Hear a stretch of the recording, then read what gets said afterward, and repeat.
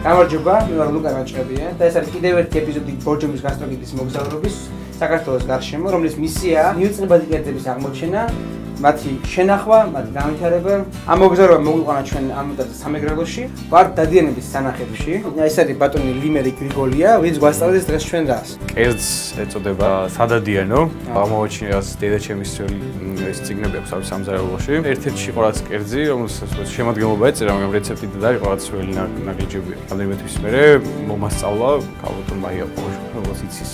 რეცეპტი მე სხვა არც არ არის, რეცეპტი არ გამიგია ფიზიკურად სხვა. აი, მითხარი რა ხდება ახლა ამ მაგიდაზე ხორცი, ქათმის, ხახვი, კინძი, ძე, ძმარი, მარილი და გჭირდება ასე სულგული, რომელიც უნდა იყოს ახლა მოყვალი ნორჩი. თავდაპირველად ჩავყრით ქვაფში ხახვს და მოვთუშავთ მასში ამ ხორცს. შემდეგ დავასხამთ ძეს, მაგრამ ჯერჯერობით ჩაიშუშოს ცოტა წვენცო გამოვიდეს.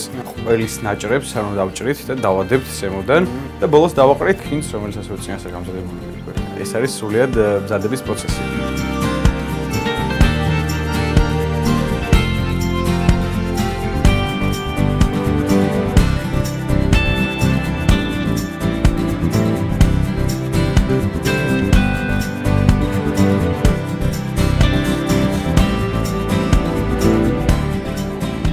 კერძი მზად არის, ხო?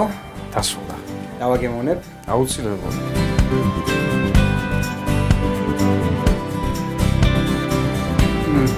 ამ რეცეპტის ნახვა შეგიძლიათ გასტროგაი წერტილი ბორჯომი წერტილი კომზე. გიჩვენებთ გაკეთოთ უგემრიელესია. თან საინტერესო იმხელა რომ ეგეთი კერძები არ არის ჩვენი ქართულ კულინარიაში. დიდი მადლობა ამ ყველაფრისთვის. მადლობა, გაუზიაროთ ეს დიდი რიცოდა ყველას, იმიტომ რომ რა ვიცი. მე მგონი ძალიან საინტერესო იქნება ყველასთვის. რეცეპტი ნახეთ, გააკეთეთ, უდაოდ პაუბრები დარჩებით. მადლობა და დროებით.